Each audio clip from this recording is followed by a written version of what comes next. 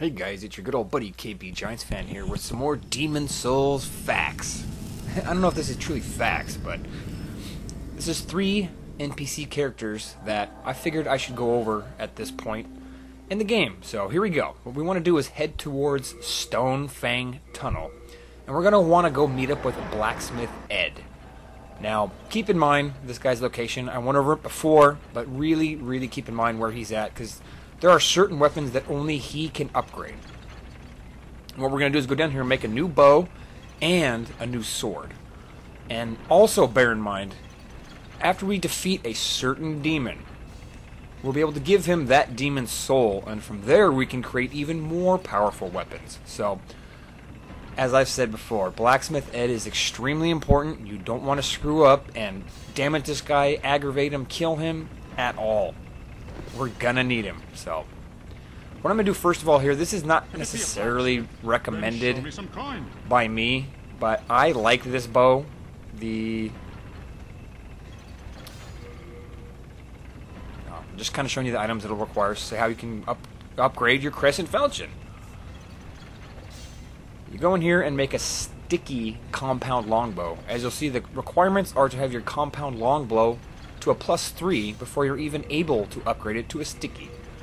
Now, sticky bows are scale with dexterity, I know this, but I like the effects of the sticky compound longbow, so that's why I'm going to go with that. It's not necessarily recommended for this character, for you, but if you'd like to go ahead and make one, be my guest, uh, go ahead. Uh, or you could just go ahead and upgrade your uh, compound longbow, or I believe the compound short bow will also be able to go down the sticky path if it's a plus three as well. So there you go. There's your sticky compound longbow.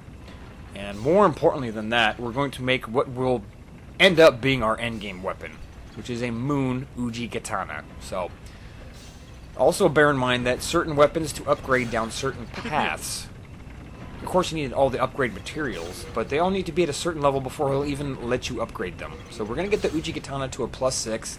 I've got the shards of sharpstone. I got the large sharpstone shards.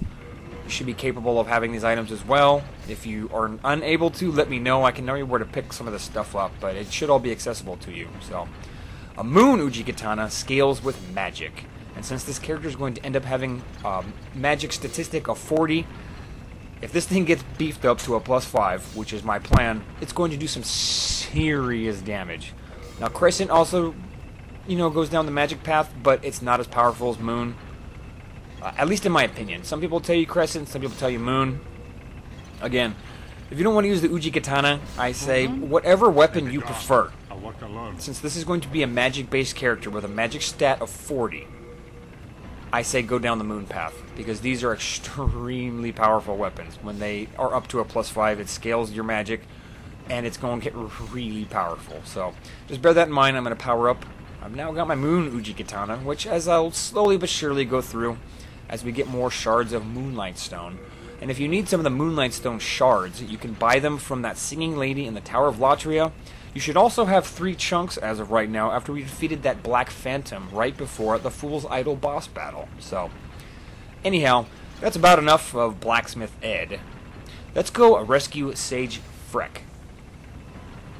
So, Go back to the Tower of Latria. Uh, you should remember where this area was. I, I made it very clear to remember where this was. So you can come back here, and we're all we gotta do is basically walk over and unlock his cell. Open it up and let him out. Magnificent. I never expected to get out of there alive. My name is Freke. I am known as a sage. I thought my magic would give me an edge against these demons, but how wrong I was. I have been enfeebled by my long imprisonment. But I can still move my legs, and I can make it back to the Nexus. I thank the stars that I escaped when I did. I owe you my life. All right, fantastic.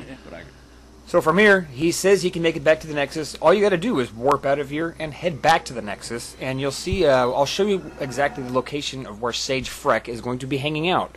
Now, the thing about him, he's unlike the other magician trainer, because we use the boss demon souls to create magic spells using his talent. I have a So- proposal for you. Could you bring your demon souls to me? As I determine more about the essence of the soul, I can teach you new magic. A demon soul is no mere amalgamation of lesser souls. You have your wits about you. Surely you understand me. Yeah, I understand you. So, he works the same as the other magician trainer, but when you go in to learn a spell, as you can see, these require the souls of boss demons. Now, I really, really, really suggest getting Soul Ray because the, the doll demon soul doesn't really do anything else besides that, and it's a really powerful spell. It's like Soul Arrow. It's a lot stronger, and it also travels through enemies. So if you've got them lined up, you can take out a whole row of enemies with one clear, good shot. So remember Sage Freke, he's just going to be hanging out there for the rest of the playthrough in the Nexus. So don't aggravate him and don't kill him, and we'll be good to go from there. And finally, how to actually trade items with Sparkly the Crow.